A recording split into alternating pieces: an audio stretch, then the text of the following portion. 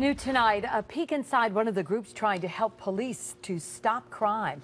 Troy's police chief doesn't always attend meetings of the Lansingburgh Neighborhood Watch, but he did tonight. Yeah, tonight public officials responding to those they serve and highlighting the can-do attitude they say other neighborhoods might adopt in other cities.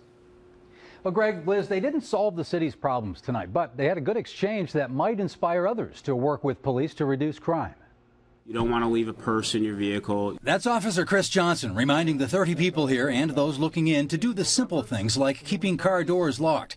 One thing not so simple is the introduction of cameras on cars and on officers. I, have been ready to go with that, Jim, for the last year and a half. The chief says he needs a policy first. That means meetings with attorneys from the city and police union. When it comes to shootings, Tedesco said the homicides will take priority, and so the rest will take longer to solve. He thinks his force is on the right track. I mean, shootings in the city are down 51% over the same time last year.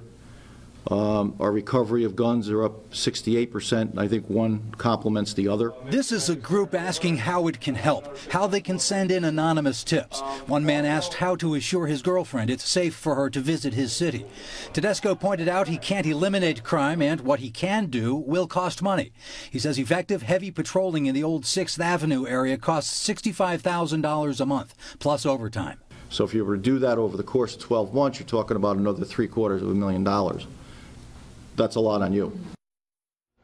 And the chief's always looking for ways to cut down the cost of fighting crime. He encourages people to report low-level crimes online, on the internet, through a product called CopLogic.